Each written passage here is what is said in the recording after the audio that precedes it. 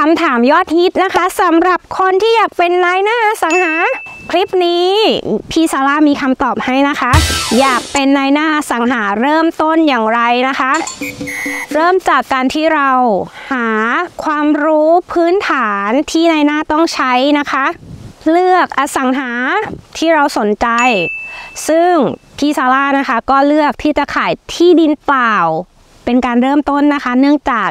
พี่ซาร่าเนี่ยไม่ต้องกังวลใจเรื่องของที่จะสูญหาย การเปิดบ้านล็อกบ้านที่ต้องเบิกกุญแจกับเจ้าของทรัพย์นะคะ ก็จะลดขั้นตอนการยุ่งยาก แต่จริง ๆ แล้ว อสังหาที่เป็นบ้านพร้อมที่ดินนะคะพี่ซาร่าก็รับนะคะ ซึ่งทีมพาดูที่นะคะก็รับทำโฆษณา อสังหาทุกประเภทนะคะ เริ่มทำการตลาดนะคะจากช่องทางต่างๆ อย่างของพี่ซาร่านะคะ ก็เริ่มจาก Facebook YouTube ทวิตเตอร์แล้วก็ TikTok นะคะ เราสามารถทำการตลาดได้ทุกแพลตฟอร์มเลยค่ะ 2. นะคะ เรามาเริ่มต้นที่จะเรียนรู้ที่จะทำอาชีพในหน้าอสังหากันค่ะ สิ่งที่ต้องรู้ก่อนเริ่มอาชีพในหน้ามีอะไรบ้างนะคะ อันดับแรกเลยนะคะก็คือความรู้เกี่ยวกับอสังหาที่เรา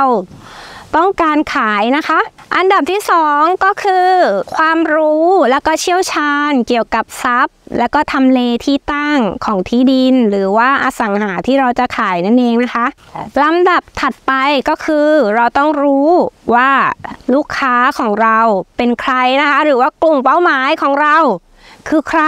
และลำดับถัดไปนะคะ ก็คือเราต้องรู้ว่าเราจะขายอย่างไร และทำการตลาดอย่างไร เพื่อที่จะให้อสังหาที่เรามีในมือเนี่ยขายได้ ข้อถัดไปนะคะ เรามาเช็คตัวเองกันดีกว่าว่าเราเหมาะไหมที่จะเป็นนายหน้าอสังหา อันดับแรกเลยนะคะ ก็คือพูดให้เป็น เราไม่จำเป็นต้องพูดเก่งนะคะ แต่เราต้องสื่อ ใจความสำคัญในการขายให้ได้ ข้อที่ 2 ฟังให้เป็นข้อนี้นะคะสำคัญมากกว่าที่เราพูดเป็นนะคะ ตั้งใจฟังดีๆนะคะ การที่เราฟังให้เป็น เราจะรู้ว่าลูกค้า ต้องการอะไร